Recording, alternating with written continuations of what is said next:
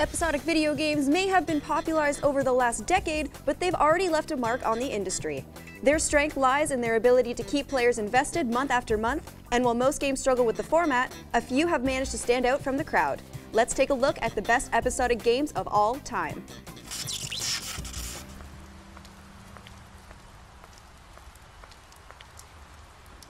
You're not as bad as everyone says you are.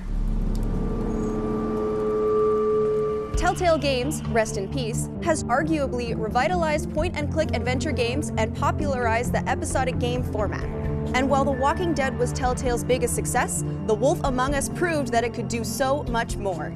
This noir fairy tale based on the Fable comic has the big bad wolf himself investigating a murder that quickly grows into something much more.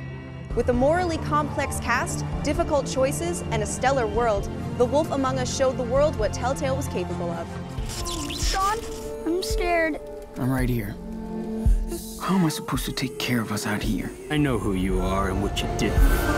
Life is Strange was very popular when it was released in 2015, but its sequel is a radical departure from what fans expected. Following two brothers on their journey across America, Life is Strange 2 tackles themes of immigration, racism, and freedom over the course of its five episodes. But at its core, it's a tale about the love between siblings and the lengths one goes to protect family. Taking over 400 days to release in full, which likely contributed to its lack of popularity in comparison to its predecessor, Life is Strange 2 is a slow burn that is well worth the journey.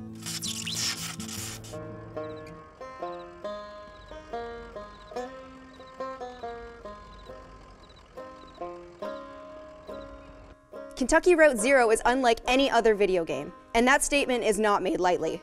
A fusion of magical realism and Southern Gothic in style, it's a game that uses absurdism to bite back against the poverty its protagonists find themselves in. Kentucky Route Zero is eclectic in design, pulling elements from Greek tragedies, adventure games, and Broadway, but its haunting world and characters make it a delight to experience. The first episode was released in 2013, and its final act is only just coming out. The world has changed in the intervening six and a half years, but Kentucky Route Zero remains just as poignant and wounding now as it did back then. Hi. Kill them all! War does not compute. What is it good for? Making comedy is hard, and making a video game comedy is even harder, which is why Telltale's second game on this Rank It is also the developer's masterpiece. Tales from the Borderlands is consistently funny and well written, relying on witty quips as much as it does crude humor. This is furthered by well-crafted action scenes and emotional moments that breathe life into the motley characters that make up its cast. Tales from the Borderlands is not only the best comedy in video game history, it's also low-key the best Borderlands game. You want to know what I was doing on Pandora? Your mom. My mom is dead. Oh. Episodic games are associated with adventure games, rightly or wrongly. But IO Interactive's assassination epic Hitman took the format to new heights thanks to its impeccable design and replayability. As you experiment with your playstyle, We lost them!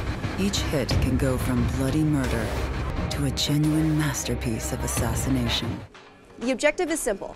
As the world's greatest hitman, you must take out your targets using whatever means necessary. The monthly releases allowed players to deep dive into each of its levels to discover and play with a multitude of tools at their disposal. And there are a lot of tools to play with. With each move you make, the world reacts to it, unfolding into a chaotic mess that is as challenging as it is entertaining. For episodic games, nothing rivals the wonderfully constructed worlds that comprise Hitman.